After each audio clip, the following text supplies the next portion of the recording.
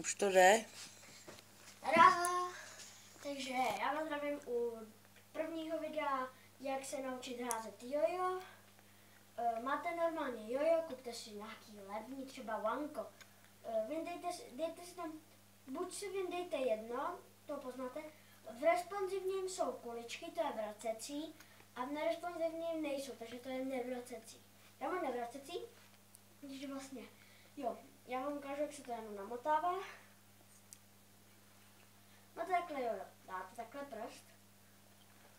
Takhle dáte prst a takhle jenom potom už lehce namotáváte. Tak, potom si dáte jako, že chcete ukázat svaly a takhle hodíte. A s tím si můžete dělat potom, co chcete. A to je vše. Potom si ho zase namotáte. A potom ještě druhý způsob, to je hodit to takhle. Um, a to myslím, že by to video mohlo mít vše. Um, nebo když budete chtít ještě další videa, jak se naučit pořádně házet, někde jinde třeba, tak jenom dát odběr a like, nebo stačí odběr, o ty mi jde víc. A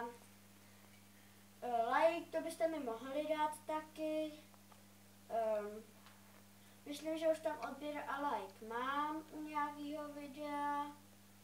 Když se kouknete na channel Jakub Svoboda, tak tam mě uvidíte. A to bude vlastně vše pro toto video. A takže můžu říct ahoj!